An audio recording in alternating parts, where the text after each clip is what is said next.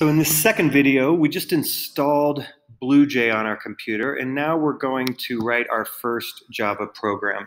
It's a very simple program, it just has a single line of output. And uh, you're going to get started by launching BlueJ. You should see this little development environment pop up. And you want to open or create a new project. And it's important to choose a good location. Right now, by default, BlueJ is choosing my home directory, but I would like to create this project in my AP Computer Science folder that I created.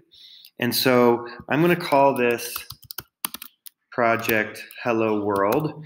And just notice this is something that you'll become very familiar with. And we use what's called camel case in Java. So uh, there's no spaces in the name of my project. It's just hello world without space, and I capitalize the first letter of each word. And that's going to be the name of my project.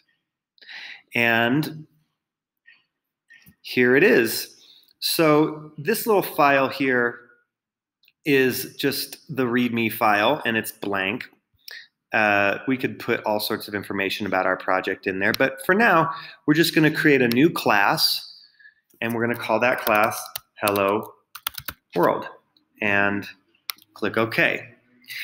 Um, all Java code is inside of a class, and that's this is again some language that we'll become more and more familiar with. So now I have this one class sitting right here in my in my project, and I'm going to double click it, and it opens up this text editor. And what BlueJ has done is create a whole bunch of, of sort of skeleton code for us. And I would like to get rid of all of that skeleton code. And so now I just have these really these these three lines of code. Everything up here is a comment, and uh, the the compiler doesn't really care about what's in here. We could we could write whatever we wanted. So maybe uh, we'll put here uh, my first Java program. And you could put your name right here to indicate that this is your work. This is my name.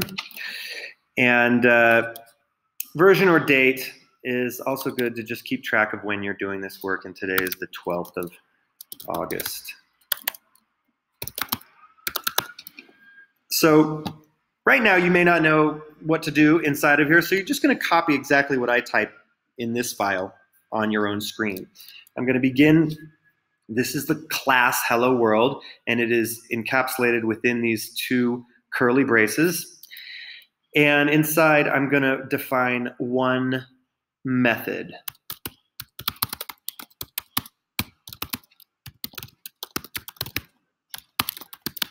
And the method declaration looks like that.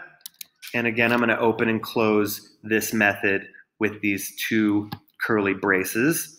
And just I wrote public static void main and then open parentheses string array, we say, and the string array is named args.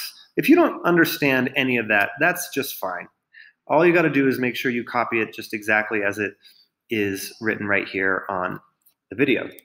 Inside, we're going to just do one thing, system.out.println and we're gonna, hello world. This is a classic first program that we write in any new programming language just to demonstrate that we've properly set up our development environment. So, and just notice a couple things. The words hello world are in double quotes, and I ended this statement with a semicolon, which we will end all of our statements in Java with a semicolon. Uh, so that's it. That is our first Java program. So I'm going to just slide this over and go back to this project page.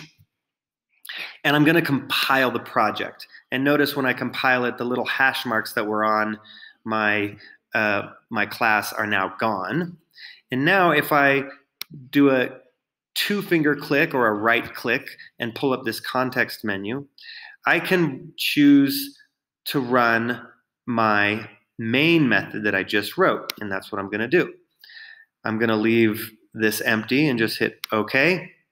And up this window, this terminal pops and it just says hello world. That's all we told our program to do. Very simple.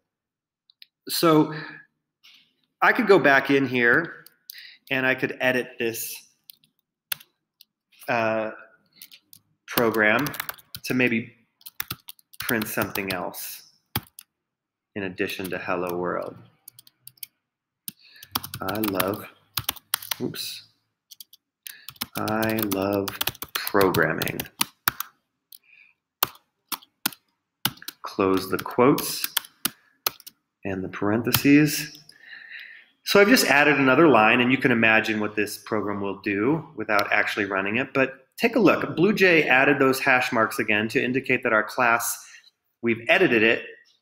And if we want to run the new program with its updates that we just added, we need to compile it. And then again, pull up the context menu, and you can run that main method. And if I go back to the output. This is the output from my original running of the program, and now the output contains two lines of code. So that's a really quick introduction on your very first, writing your very first Java program.